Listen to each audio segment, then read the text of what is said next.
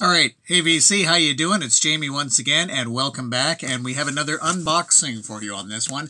Uh, really excited about this. This one has just arrived, so we're going to unbox it, take a look at what's inside. It's King Crimson Vinyl Box Set Part 2. Uh, this is the uh, box set 1972 to 1974. So we got it in the cardboard, and the only uh, indication on the outer box is the 1972 uh, to 1974. It's just got a little flap like that. And inside. And here we go. Hopefully you'll be able to see this. It's continuing with the very sort of straightforward black box. You can sort of barely see the King Crimson 1972 to 1974 there. Uh, the full listing on the back.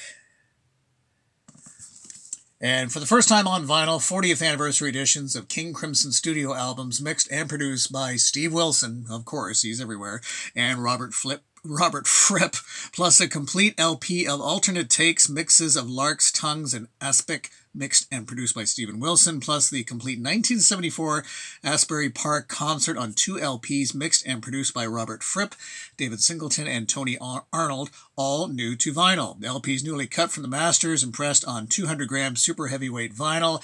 Package also includes a 24 page pictorial history of the 1972 74 lineups and a poster featuring the band's album art from 1969 to 1974 as it appeared in the original 1975 Young Person's Guide vinyl sleeve interior. Okay, so there you go. Once again, we'll take a look at the selections of LPs, including Red, amazing album.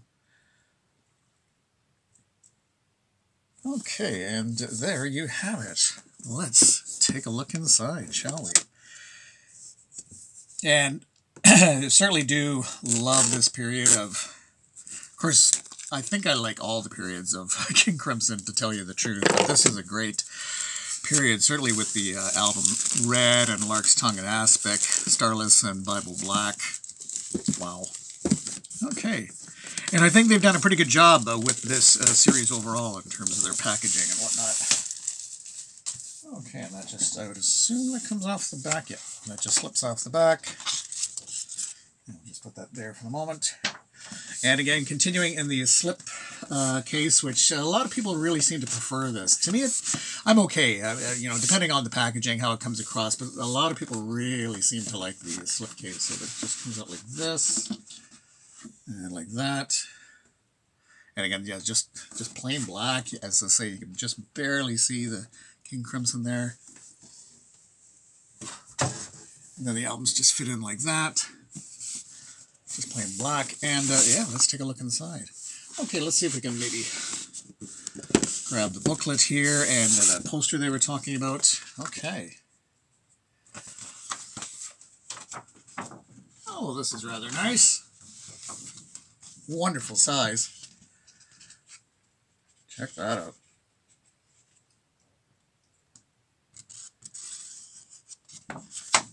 Nice pictorial of all of the albums there. Very nice. Okay.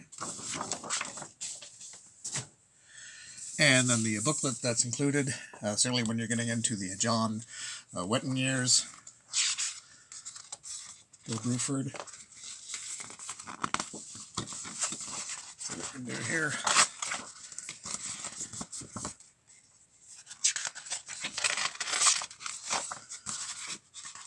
Some nice uh, likely billboard or trade magazine ads, that sort of thing.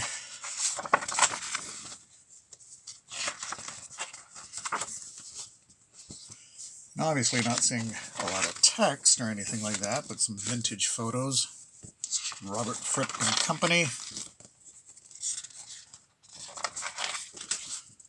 And some lyrics there of the Night Watch.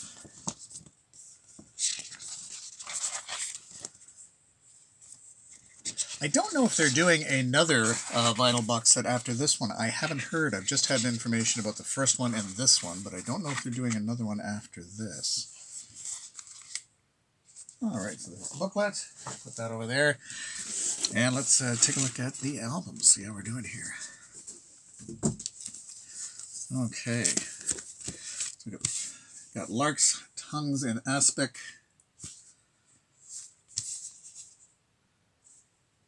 All right, let's see if we can uh, take a look inside, shall we? And it's kind of nice. It doesn't look like, yeah, they don't have uh, the uh, price codes on them, which is quite nice. So it's not intended to be sold individually, which is, I think, is always a good thing. I just, you know, it just, it adds to the authenticity of it when you're not including the price codes, that sort of thing.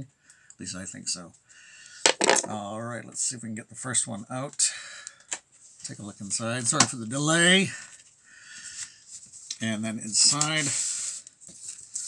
uh, we've got the sleeve uh, insert. And then continuing with their theme of the stylized sleeves. And then, yeah, the heavyweight vinyl, I think 200 gram, I think we mentioned. And then that and that. Okay, so here, there you have that one. All right, and then we carry on with King Crimson's Starless and Bible Black.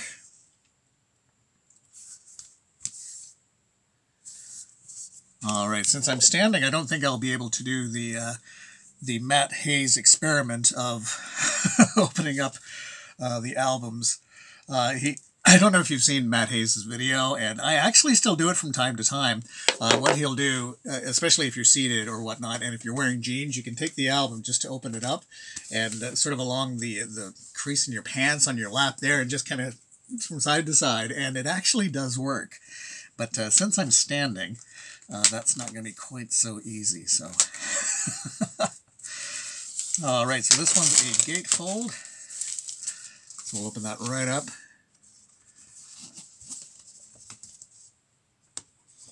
And we have that. And then the stylized sleeve once again. I think I think Paul took a little tumble there from the little Beatle dolls there the Beatle figurines. And there you go. Sorry about that, Paul. All right, now certainly one of my favorite albums from this series. This is Red. Uh, John Wetton on this uh, album alone, just his singing, his bass playing, Bill Bruford, uh, Robert Fripp. What an amazing trio. And just a great, great album that seems to have really um, sort of increased in its value over the years. So certainly people more and more people getting turned on to this album. Okay, let's take a look inside. Oops, almost got it out there for you. Okay, and uh, yeah, there's no, I don't think there's any insert or anything on that, on this one. Just double check for you. No. And then continuing with the stylized sleeves.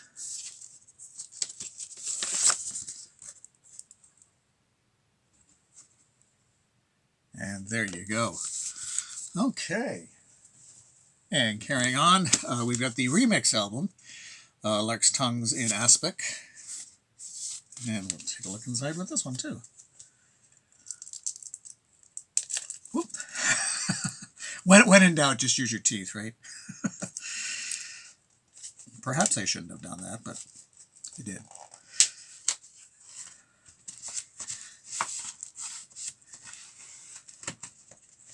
Unless I've got the order wrong. I think this is the remix album, is it not? Let me just double check for you.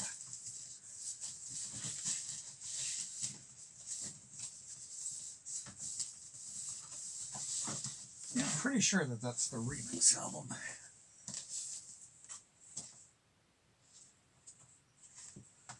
Okay. Yeah, because it should say on here.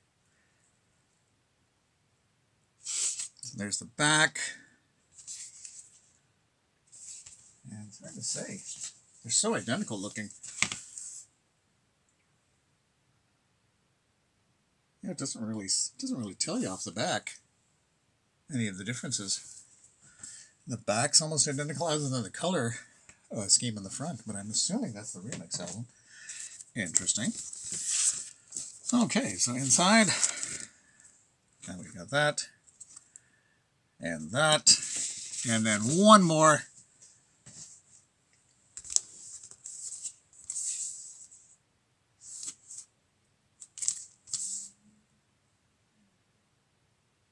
Okay, let's open that up. This is a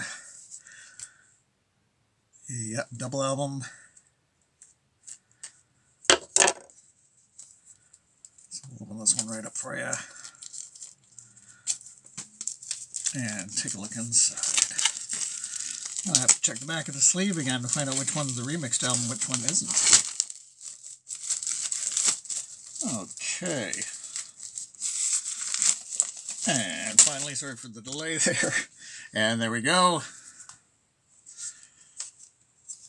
And then opens as such. And then continuing with the theme, I'm assuming of the sleeves. No, the sleeve's slightly different on this. Again, advertising the others in the collection. And there and there. And I don't know if there's something different on the other album. Same sleeve, same style sleeve. And yeah, some different pictures on there and there. Okay, so there you have it. That is the King Crimson box set. And uh, yes, there we go. There's the uh, the listing of the albums just in terms of the color. So that would be the original Lark's Tongue and Aspic, and then that is the uh, remix one. Uh, it's interesting though; they don't even tell you on the on the back of the cover. All right, so that's going to wrap it up for this one. Thank you so much for dropping by. Uh, do take care. Hit subscribe and like and that bell notification thing, and uh, we'll chat again real soon. Take care. Bye bye.